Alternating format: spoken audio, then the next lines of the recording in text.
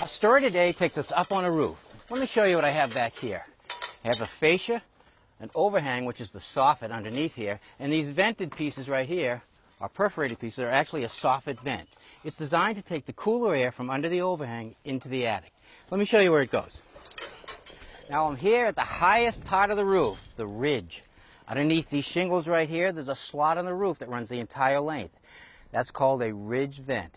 It's designed to let the hot air of the attic out, pulling the cooler air from the soffit vents into the attic.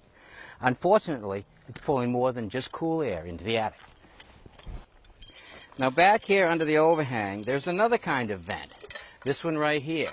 And this is a vent from the bathroom fan, and it should never be in a vented soffit. It's causing the homeowners a lot of problems.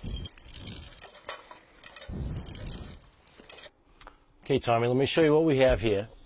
Okay. A few months ago, I put in a new bathroom fan, and we noticed this discoloration in these areas right here. Under the roof sheathing. That's right. That's the beginning of mold.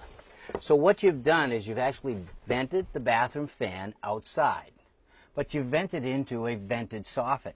What happens is that soffit pulls that warm, moist air into the attic. In the wintertime, it condenses under the sheathing, causes the sheathing to get wet, causes mold to grow. That's as bad as venting the fan right into the attic.